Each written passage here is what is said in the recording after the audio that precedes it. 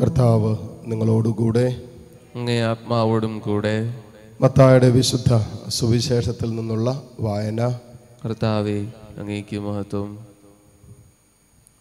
അധ്യായം പതിമൂന്ന് മുപ്പത്തിയാറ് മുതൽ നാൽപ്പത്തി മൂന്ന് വരെയുള്ള തിരുവചനങ്ങൾ.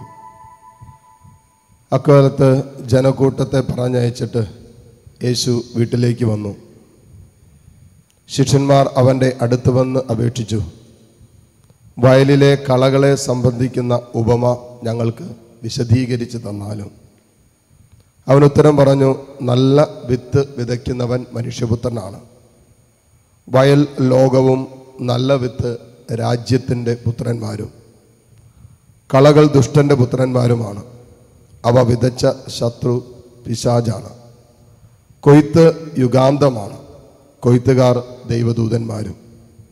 കളകൾ ശേഖരിച്ച് അഗ്നിക്കിരയാക്കുന്നതെങ്ങനെയോ അങ്ങനെ തന്നെ യുഗാന്തത്തിലും സംഭവിക്കും. മനുഷ്യപുത്രൻ തന്റെ ദൂതന്മാരെ അയക്കുകയും അവർ അവന്റെ രാജ്യത്ത് നിന്ന് എല്ലാ പാപഹേതുക്കളും തിന്മ പ്രവർത്തിക്കുന്നവരെയും ഒരുമിച്ച് കൂട്ടി അഗ്നികുണ്ടത്തിൽ എറിയുകയും ചെയ്യും. അവിടെ വിലാപവും പല്ലുകടിയുമായിരിക്കും. അപ്പോൾ നീതിമാന്മാർ തങ്ങളുടെ പിതാവിന്റെ രാജ്യത്തിൽ സൂര്യനെ പോലെ പ്രശോഭിക്കും. ചെവിയുള്ളവൻ കേൾക്കട്ടെ. കർത്താവിന്റെ സുവിശേഷം. ക്രിസ്തുവെ അങ്ങേക്ക് സ്തുതി. മിസിഹാൽ സ്നേഹമുള്ള സഹോദരി സഹോദരങ്ങളെ ആദ്യമേ തന്നെ അന്നയ ജോവാക്യം നാമധാരികളായ എല്ലാവർക്കും തിരുനാളിന്റെ പ്രത്യേക ആശംസകളും പ്രാർത്ഥനകളും നേരുകയാണ്. തീർച്ചയായിട്ടും ഇന്ന് തിരുനാൾ ആഘോഷിക്കുമ്പോൾ ഇന്നത്തെ വായനകളൊക്കെ നമുക്ക് വളരെ കൃത്യമായ രീതിയിലാണ് ഈ തിരുനാളിനോട് അനുബന്ധിച്ച് ചിന്തിക്കാൻ പറ്റുന്ന വിഷയങ്ങൾ തന്നിരിക്കുന്നത്. ആദ്യ വായനയിൽ നമ്മൾ കാണുകയാണ് ജറമിയ പ്രവാചകൻ ജനത്തിന്റെ ആത്മീയ പിതാവാണ്. ദൈവം പറയുന്നതൊക്കെ കൃത്യമായിട്ട് നിർദ്ദേശമായിട്ട് തന്റെ ജനത്തിന് നൽകുന്ന ജറമിയ പ്രവാചകൻ കരയുകയാണ്. എന്റെ കണ്ണിൽ നിന്നും കണ്ണുനീര് ഇങ്ങനെ പ്രവാഹം പോലെ ഒഴുകിക്കൊണ്ടിരിക്കുക. എനിക്കൊരു റെസ്റ്റ് ഇല്ലാതെ ഞാൻ നിലവിളിച്ച് തമ്പുരാനെ പ്രാർത്ഥിക്കുക എന്ന് പറയുന്നത് എന്തിനു വേണ്ടി? ആർക്ക് വേണ്ടിയാ? തന്റെ മക്കൾക്ക് വേണ്ടിയിട്ട്.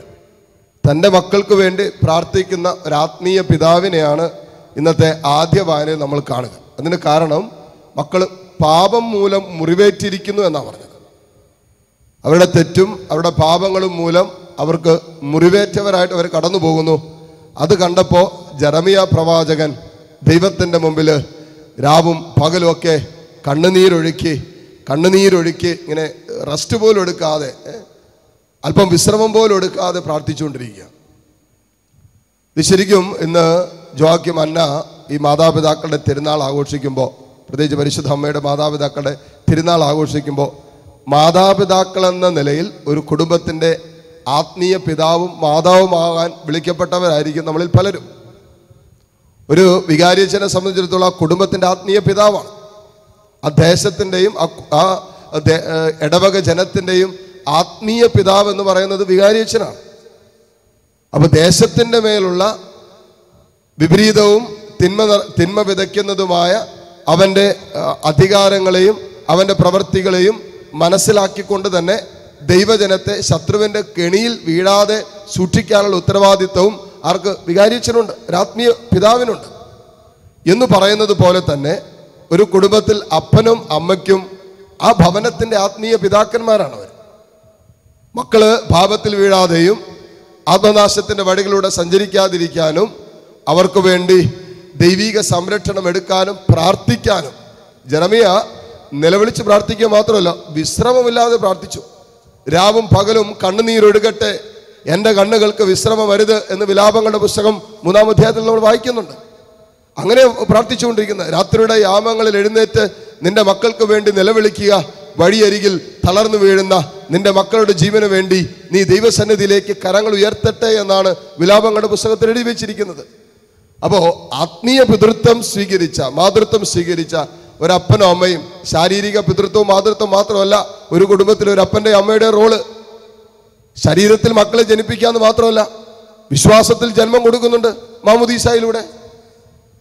പ്രാർത്ഥനയിലും വിശ്വാസത്തിലും ദൈവസ്നേഹത്തിലും വിശുദ്ധിയിലും ഒക്കെ മക്കൾക്ക് ജന്മം കൊടുക്കാൻ വിളിക്കപ്പെട്ടവരാണ് മാതാപിതാക്കൾ അതിനുവേണ്ടി മാതാപിതാക്കൾ ദൈവസന്നിധിയിൽ പ്രാർത്ഥിക്കേണ്ടവരാണെന്നും പ്രാർത്ഥിക്കുന്നവരായി മാറണമെന്നും ആദ്യ വായന നമ്മൾ ഓർമ്മിപ്പിക്കുകയാണ്.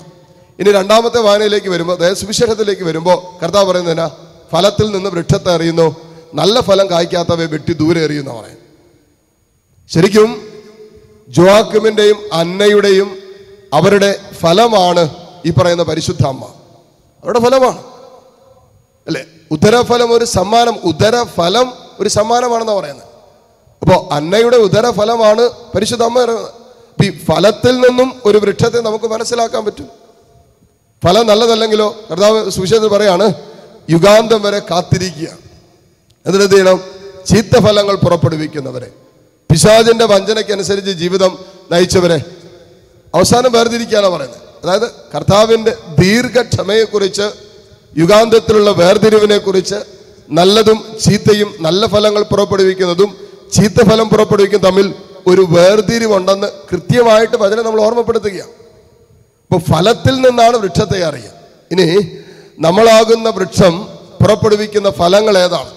പ്രത്യേകിച്ച് എപ്പോഴും നമ്മൾ ഈ ഇന്നത്തെ വചനവുമായി ബന്ധപ്പെട്ടും ഇന്നത്തെ തിരുനാളുമായി ബന്ധപ്പെട്ട് ചിന്തിക്കേണ്ടത് നമുക്കായി ദൈവം നിയോഗിച്ച് തന്നിരിക്കുന്ന ചിലരുണ്ട്. അവരുടെ മുമ്പിൽ നമ്മൾ പുറപ്പെടുവിക്കുന്ന ഫലങ്ങൾ എന്തൊക്കെയാണ്? പരിശുദ്ധാത്മാവിന്റെ ഫലങ്ങൾ പുറപ്പെടുവിക്കാനുള്ള ഒരു തീരുമാനം നിരന്തരം അനുദിന ജീവിതത്തിൽ പ്രത്യേകിച്ച് കുടുംബത്തിലും കുടുംബ ബന്ധങ്ങളിലൊക്കെ നമ്മൾ എടുക്കണം.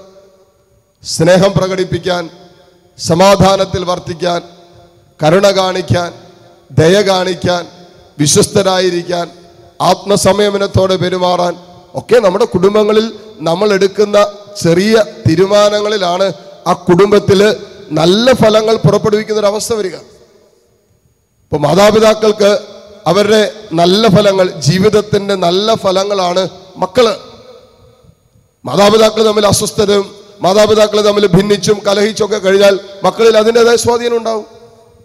പരസ്പരം കുടുംബത്തിൽ ഒരു നല്ല വാക്ക് പോലും ഭർത്താവിനെ കുറിച്ച് പറയാത്ത ഭാര്യ ഭാര്യയെക്കുറിച്ച് പറയാത്ത ഭർത്താവ് അല്ലെങ്കിൽ മാതാപിതാക്കൾ തമ്മിൽ എപ്പോഴും കലഹവും എപ്പോഴും പ്രശ്നവും എപ്പോഴും പ്രതിസന്ധിയായിട്ട് ആ മക്കളിൽ സ്വാഭാവികമായിട്ടും വളരെ കൃത്യമായ രീതിയിൽ കാണാൻ പറ്റും ഈ കുഞ്ഞുങ്ങളിൽ ആ മാതാപിതാക്കളുടെ ആ ഫലം.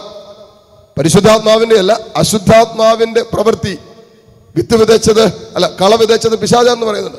അപ്പം അതിന്റെതായ പ്രതിഫലനങ്ങൾ മക്കളിൽ കാണാൻ പറ്റും. ഉണ്ട്. നല്ല ഫലങ്ങൾ പുറപ്പെടുവിക്കുന്നതനുസരിച്ച് നമ്മുടെ കുഞ്ഞുങ്ങളിലും നമ്മുടെ തലമുറകളിലൊക്കെ ഈ ഫലങ്ങൾ നമുക്ക് കാണാൻ പറ്റും. ഈ വിശുദ്ധ കുർബാനോട് പ്രാർത്ഥിക്കാം. കർത്താവിന്റെ മുമ്പിൽ നിൽക്കുമ്പോൾ നല്ല ഫലങ്ങൾ പുറപ്പെടുവിക്കുന്നവരാക്കി ഞങ്ങളെ മാറ്റണമേ എന്ന് പ്രാർത്ഥിക്കാം. ഇതാണ് ആത്മാവിലുള്ള ജീവിതം എന്ന് പറയുന്നത്. ആത്മാവിന്റെ ഫലങ്ങൾ പുറപ്പെടുവിച്ചുകൊണ്ടുള്ള ഒരു ജീവിതമാണ്. അതിനായി നിരന്തരം പരിശ്രമിക്കാം. പരിശുദ്ധാത്മാവ് തന്നെ നമ്മളതിനെ സഹായിക്കട്ടെ. ഈ ബലിയിലൂടെ ആ കൃപയ്ക്കായി പ്രാർത്ഥിക്കുകയും വിശുദ്ധ അന്നയുടെയും ജോക്കിമിന്റെയും പ്രത്യേക മാധ്യസ്ഥത്തിൽ നമ്മളെ നമ്മുടെ കുടുംബങ്ങളെയും സമർപ്പിക്കുകയും പ്രാർത്ഥിക്കുകയും ചെയ്യാം. സർവശക്തനായ ദൈവം നമ്മെ അനുഗ്രഹിക്കട്ടെ. ആമേൻ.